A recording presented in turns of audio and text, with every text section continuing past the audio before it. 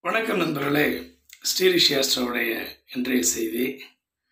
இன்று ஆடி பதினெட்டாம் பேருக்கு இப்போ ஆடி பதினெட்டு நல்வாழ்த்துக்கள் அனைவருக்கும்.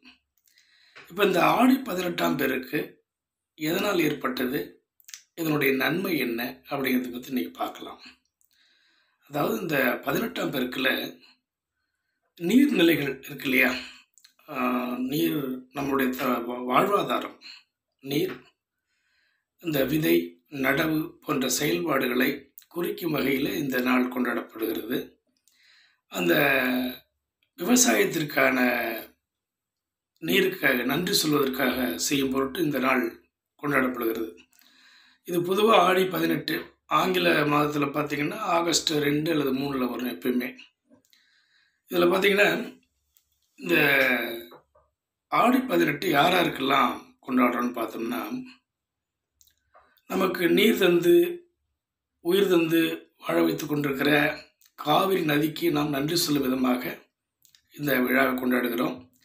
இதில் யார் யாரெல்லாம் கொண்டாடுறாங்கன்னு பார்த்தீங்கன்னா திருமணமாகாத கன்னிப்பெண்கள் திருமணமாகாத கன்னிப்பெண்கள் என்ன பண்ணுவாங்கன்னா இந்த காதல் கருகுமணி அரிசி வெல்லம் பால் இது மாதிரி விஷயங்களை கொண்டு வச்சு படைச்சி தனக்கு வர வேண்டிய கணவர் இப்படி இருக்கணும் அப்படின்னு சொல்லி அவங்களுடைய கணவருடைய ஆசீர்வாதம் பெறுவதற்காக செய்யப்படக்கூடிய ஒரு விழா. இது ஆற்றோரங்களில் ஆற்று படுகைகளில் செய்யக்கூடிய செய்யக்கூடிய ஒரு விஷயமாகும்.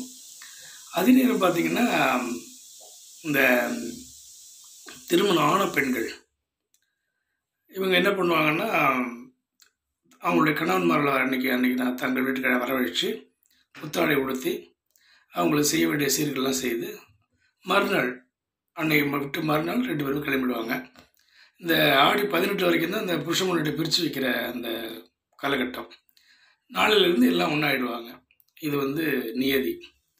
அதே மாதிரி பார்த்திங்கன்னா இந்த திருமணமான பெண்கள் ஐந்து விதமான சாதம் கலந்து அதாவது அதை செய்து அன்றைக்கி ஆற்றரங்களில் படைக்கணும். பொதுவாக நீர்நிலைகள் இருக்கு இல்லையா? கிணறு போரு இந்த இடங்களுக்கு இன்றைக்கி பொறி பொறிக்கடலை அவல் இந்த பொறி வெல்லம் சார்ந்த இனிப்புகளோடு உட்காந்து படைக்கிறது நல்லது. இன்றைக்கி பொறுத்த வரைக்கும் பார்த்தீங்கன்னா இந்த மாதத்தில் ஆடி மாதத்தில் இந்த அம்மா காவிரி தாய் இருக்காங்க இல்லையா?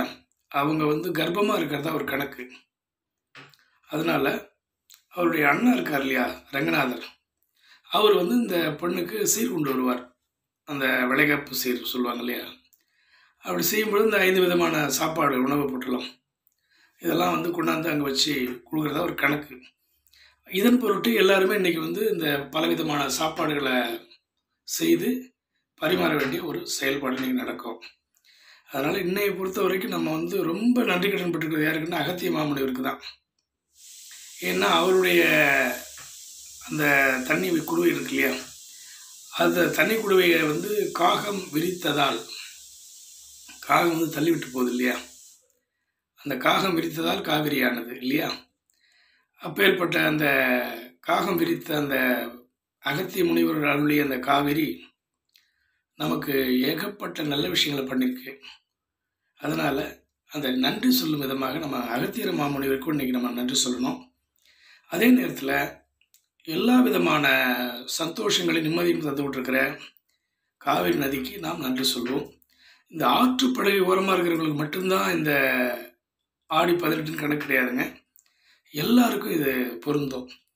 எங்கெங்கெல்லாம் நீர்நிலைகள் இருக்கோ அங்கங்கெல்லாம் போயிட்டு நம்ம இன்னைக்கு படைக்கிறது நல்லது. அதன் மூலமாக நமது வாழ்வு செழிக்கும் வளம் பெருகும் நன்மை கூடும். ஆகவே பதினெட்டு பேர்கள்னு சொல்லக்கூடிய அந்த அழகு அறிவு புகழ் நேர்மை வாய்மை தூய்மை இப்படி வருது இல்லைங்களா ஒரு பதினெட்டு பேர். இந்த பதினெட்டு பேரும் நமக்கு கடைசி வரைக்கும் நிலைக்கும். அதனால் இன்றைய தினத்தில் கட்டாய நீர்நிலைகளுக்கு சென்று நம்ம அந்த சொன்ன மாதிரி படைச்சிருங்க. அதே மாதிரி காவிரி நதிக்கு நன்றி சொல்வோம். அகத்திய மாமுனிக்கு நன்றி சொல்வோம். ரங்கநாதருக்கு நன்றி சொல்வோம். ஏன்னா அவருடைய தங்கச்சி தானே. இது மாதிரி அனைவருக்கும் நன்றி சொல்லும் விதமாக ஏர் உழவர்கள் தங்களது நன்றியை தெரிவிக்கும் விதமாக கொண்டாடப்படுகின்ற இந்த ஆடி பதினெட்டாம் பேருக்கு அத்துணை அன்பர்களுக்கும் நல்ல ஒரு வாழ்வினுடைய செழிப்பை இறைவன் அருள எல்லாம் வல்ல இறைவனை வேண்டிக் கொண்டு தங்களுடன் விடைபெறுகிறேன். நாளை மற்றொரு செய்தி உங்களை சந்திக்கிறேன் நண்பர்களே. நன்றி வணக்கம்.